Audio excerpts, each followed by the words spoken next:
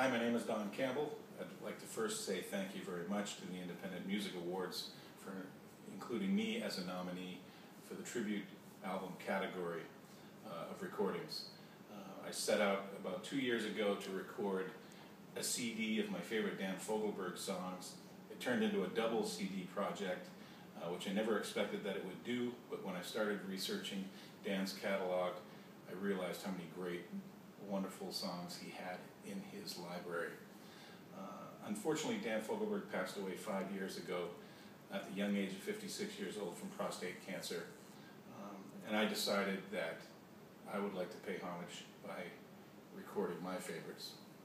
So uh, I have a dozen CDs or so of my own music.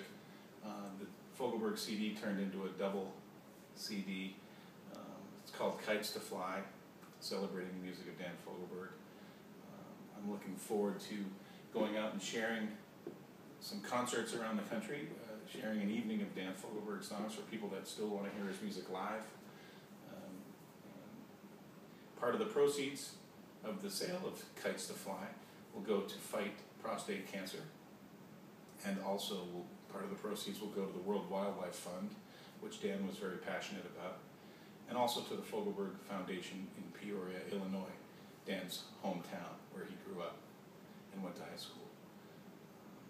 I'm honored that I've been asked to perform at the annual Dan Fogelberg Memorial Weekend celebration this year, this August, this coming August, 2013.